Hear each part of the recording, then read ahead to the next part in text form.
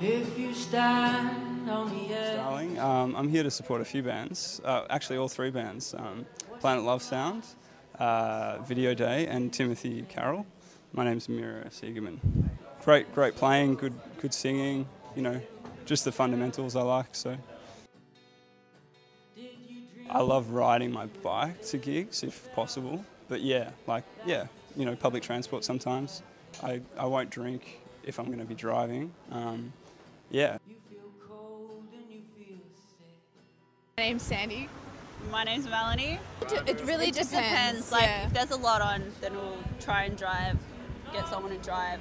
But yeah, if we're just like going out to a pub, take yeah. trams and it's stuff. it's really hard bringing your cars because like it's just like parking is an issue and stuff. So trams are always easy. and everybody wants to like have a drink and stuff. So And there's nothing wrong with walking. Also, walking's always fun.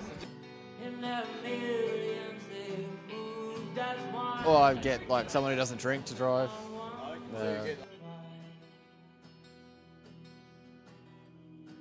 Public transport's Bit good. both. Yeah, I'm driving tonight. Yeah. Alternate, share it around.